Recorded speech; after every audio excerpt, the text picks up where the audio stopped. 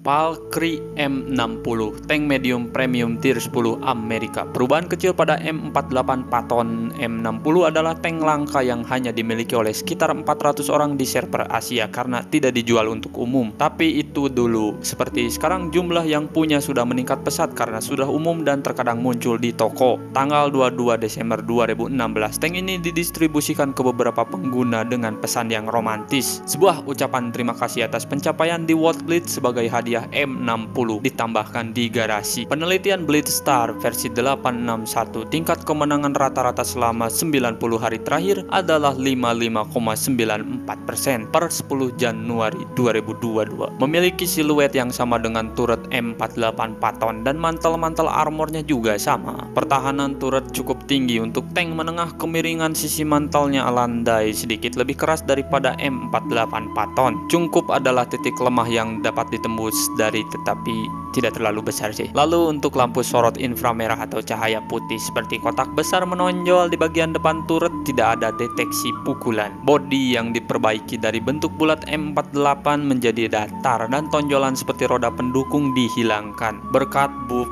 armor frontal tekanannya dinaikkan dengan sedikit miring, dimungkinkan untuk stabil mengusir peluru normal dari tangki medium serupa. Bagian bawah lambung dapat dengan mudah ditembus bahkan peluru normal dari tank kelas bawah. Area di sekitar ring turret merupakan titik lemah juga meskipun jangkauannya cukup sempit berhati-hatilah karena bagian ini dapat terkejar. Meskipun bagian bawahnya tersembunyi saat menembak dalam pertempuran jarak dekat di tanah datar. Untuk meriam larasnya tipis, ada tulisan paki, daya tembak satu tembakan biasa-biasa saja. Di PM-nya bagus jika menambahkan dengan bagian ekstensi dan item biasa waktu muat ulang akan dipersingkat. Penetrasi rata-rata sekarang diganti jadi AP ya. Dulu siap PCR untuk peluru biasa dan akurasi yang sedikit rendah untuk tank menengah tier 10 tetapi kecepatan membidik yang sangat bagus dan menyebar saat bergerak juga kecil. Namun penyebaran selama putaran turret sedikit besar jadi titik lemahnya adalah titik sebanding dengan kecepatan putaran turret tercepat di kelas atas. Sudut depresi adalah 10 derajat dan sudut elevasi adalah 20 derajat yang kurang lebih satu derajat lebih baik dari Mr. Patton. Namun jika membelakangi terpaksa mengambil sudut elevasi karena blok mesin yang menghalangi. Selain itu kerusakan rata-rata peluru peledak tinggi tank ini relatif tinggi